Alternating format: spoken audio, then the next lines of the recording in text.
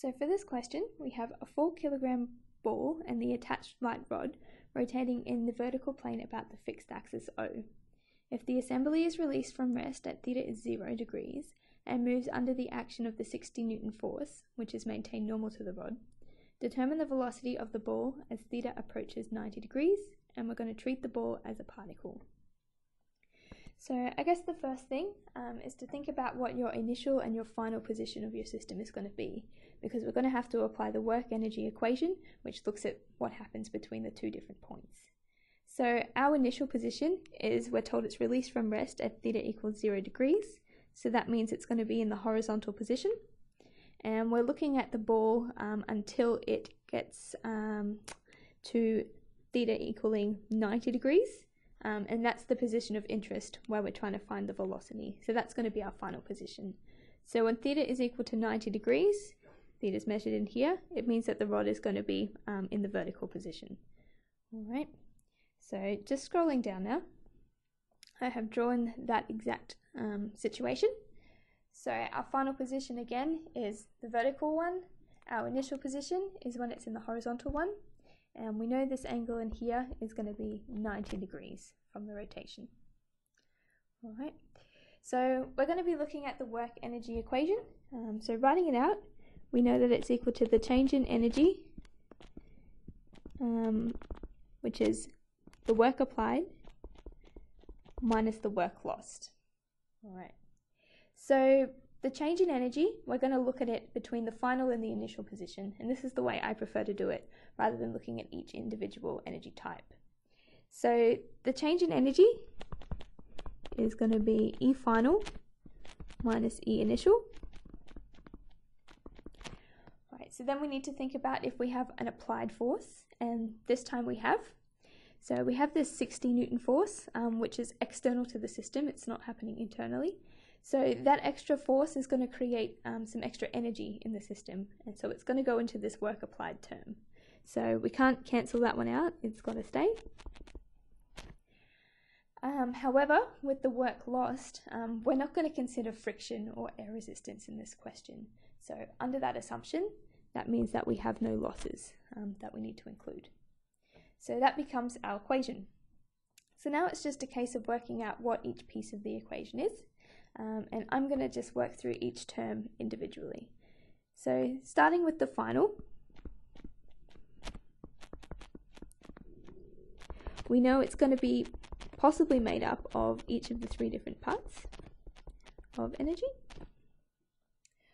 Alright, so at the final position, we're looking for what the velocity of the ball is at that point. So if we're looking for a velocity, that means that we are going to have kinetic energy. So I'm going to rewrite this as a half mv squared. Alright, next up is potential energy due to gravity.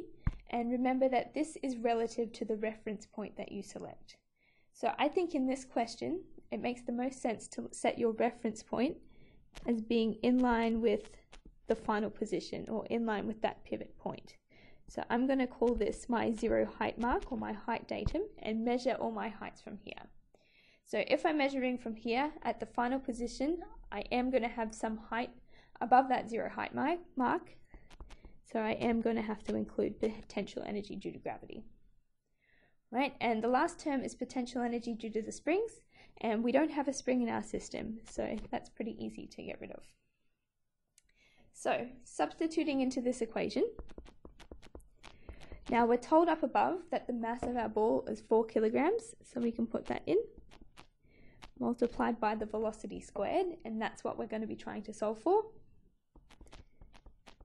4 times 9.8 times the height. So in the question again, we were told this dimension here is 300 millimeters. So that's going to be the height of the ball's center of gravity. And putting it into meters, it becomes 0.3. Okay, so you can simplify this to become 2v squared plus 11.76. All right. So next we need to look at what's happening with the initial energy in our system. All right. So scrolling this down a little bit, we know that the initial energy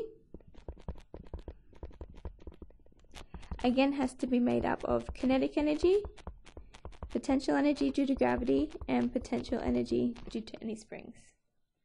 Alright, so potential energy, sorry, kinetic energy um, is going to be zero because we're told this thing is released from rest up at the top in the question. So if it's at rest, that means it's got no velocity, it means it has no kinetic energy. So this term here is zero. Potential energy due to gravity, um, remember it's measured relative to our reference point, which we've said is in line with the pivot. And coincidentally, uh, our ball is going to be in line with that pivot as well at the initial position. So the height of the ball is zero. That means that the potential energy due to gravity is zero. And again, we have no springs. So this becomes zero as well. And overall, we're going to have zero joules at our initial position. All right, so one left, and that's to work out what our work applied is. So just scroll this up a little bit again. So work applied can be calculated as the force multiplied by the distance over which it acts. So in this case, we have a consistent 60 Newton force, um, which is applied perpendicular to the rod the whole way round. So if we were to plot the distance over which it acts, it's going to be like a half circle as this rod rotates. Okay, this here is your distance d. So we can calculate the work applied. It's going to be 60 newtons multiplied, this is like essentially a quarter of a circle. So equation for um, circumference of a circle is 2 pi r. And we're going to need to divide by 4 because it's only a quarter of that circle. Okay. So the radius we can work out of this circle, it's going to be the same as this 200 millimeters in here. Again, we're going to convert it into meters to keep the units all nice. All right. So it's going to become 60 times 2 pi times 0.214 and this works out to be 18.85 joules. Alright, so the final step of this question is just to substitute the three terms we found out, um, sorry, back into our original equation up here. So the final is 2v squared plus 11.76 minus the initial, which we said was 0, and it's equal to the work applied, which is 18.85.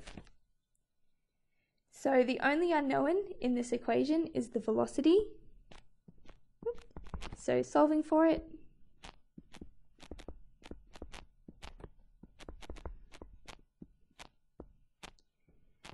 you can work it out to be 1.88 meters per second. So that's going to be the velocity that the ball is traveling at the final position when that rod is actually vertical. Alright, so that's all for that. Um, see you in the next one.